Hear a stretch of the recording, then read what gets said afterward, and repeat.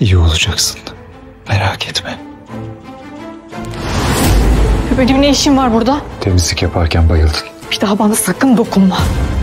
Ölüp kalsam bile üzerime bas geç. Daha önce yaptığın gibi. Çıkardım odadan. Oğlunun kalbinden çıkmamış. Odasından çıksa ne olur? Bir kıvılcıma bakar her şey. Allah ıslah etsin seni. Amin. Ben burada sadece bir çalışanım. Buna göre davranın. Sen hiçbir zaman benim için sadece bir çalışan olamazsın.